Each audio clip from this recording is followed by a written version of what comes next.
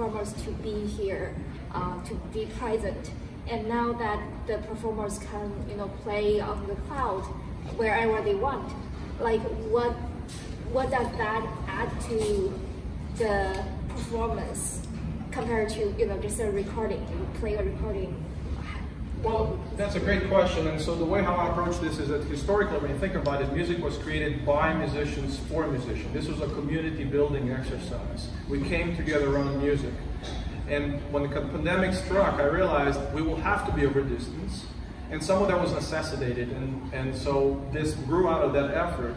But then on top of that, what also happened is the idea that I want to connect with people I wouldn't be able to otherwise. So for instance, when I met Gala through another uh, uh, research opportunity, an exchange, we learned that actually we were both interested in this platform, and then Gala went out and looked for like-minded people in Buenos Aires, and she built a community there.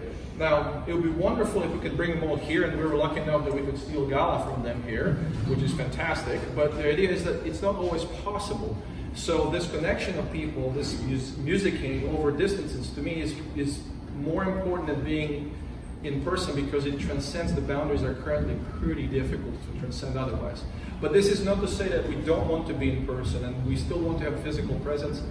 And we have a whole other array of research going into the physical embodiment of this because when Laptop Orchestra started, we're actually exploring Tai Chi choreography as performance and converting motion into sound.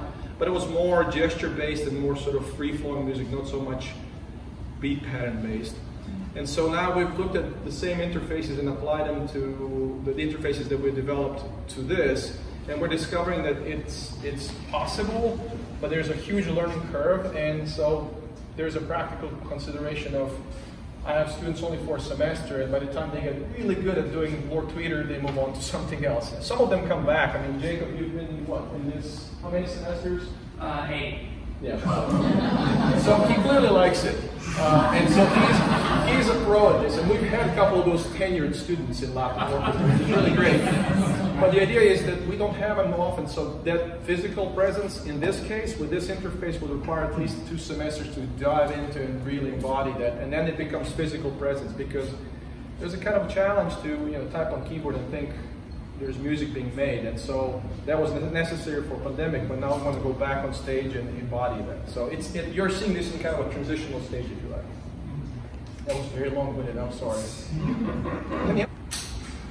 yeah, I think this is a really unique way of collaborating using electronic music over distance, which is something that prior to joining L2Ork is something that I never really thought was possible just because of the latency and the, the amount of lag that it would take to accurately be able to, to synchronize something like this.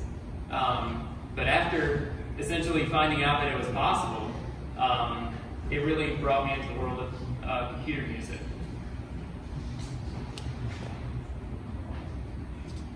Anybody else?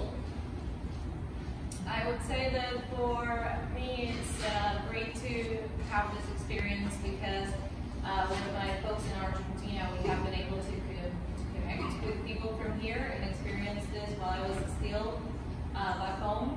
And it's quite amazing that we can actually perform on real time without latency or noise um, and create like electronic music. I also want us to be able to play live like for dancing as well.